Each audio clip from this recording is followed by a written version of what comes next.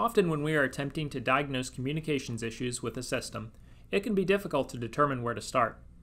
Typical problems include broken or shorted communications wiring, defective or damaged communications chips, or ground loops caused by short circuits inside a control panel or multiple control panels. That can include a sensor power or signal wire shorting to earth ground.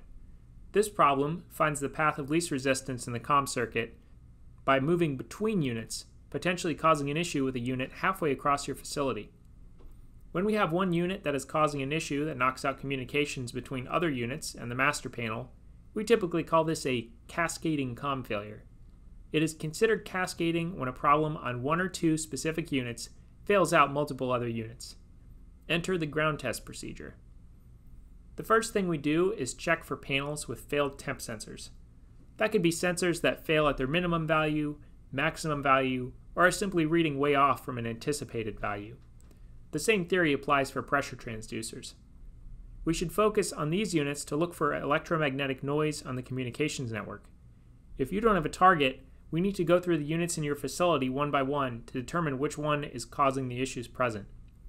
It's important to note that for this next step, even if you find a unit that has an initial reading, keep in mind that it's likely you may have more than one unit or sensor causing these issues to begin with.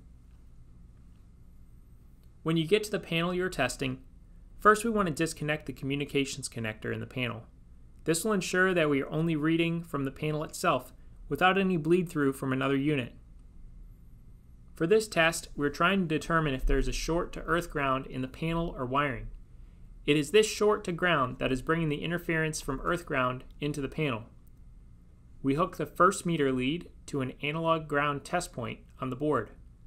There are several, one of which is right next to the power connector on modern hardware. The other will reference earth ground. It's worth mentioning that there's also a digital ground on the board, but we do not use that for this test. With a meter on analog ground to earth ground, we want to be as close to 0 volts DC as possible. There may be a bit of voltage, but anything over 1 or 2 volts is indicative of a potential problem. If you are reading closer to 24 volts, there is a serious issue causing shorted voltage to bleed into the communication circuit. Once you find a unit that has a voltage reading between analog ground and earth ground, we next need to look at all the analog sensors on the panel to determine where the detrimental voltage is coming from. We will leave our meter hooked up to analog ground and earth ground for the entirety of this next test. If you have a panel with no analog input expansion boards, as in a compressor panel or specific larger panels, the easiest thing you can do is take the two large 16 pin connectors out of the main board one at a time. Which connector being removed caused the voltage to drop? If the voltage did not drop in that panel, recheck that the comms cable is disconnected from the main board and that you do not have any analog expansion boards in the panel either.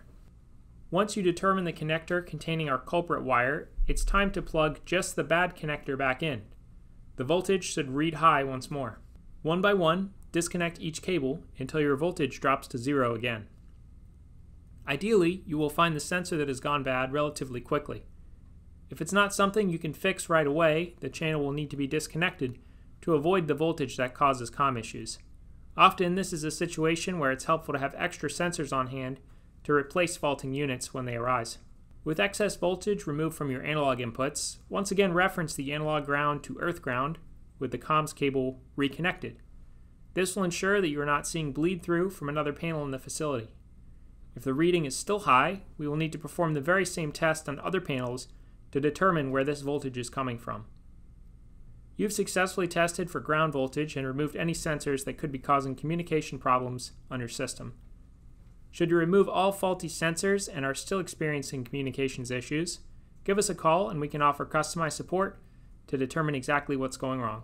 For more helpful videos like this, feel free to subscribe to our YouTube channel.